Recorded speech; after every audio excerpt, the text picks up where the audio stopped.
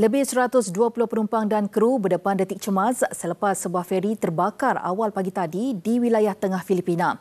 Ketika kejadian feri MV Esperanza Star itu dalam perjalanan dari Sikihor menuju ke Bohol.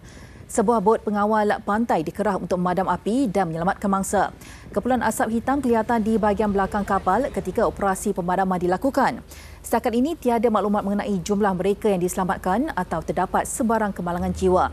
Kemalangan laut sering dilaporkan di Kepulauan Filipina susulan kekerapan ribut selain faktor kurang penyelenggaraan, kesesakan serta penguatkuasaan peraturan keselamatan yang tidak jelas terutamanya di wilayah terpencil.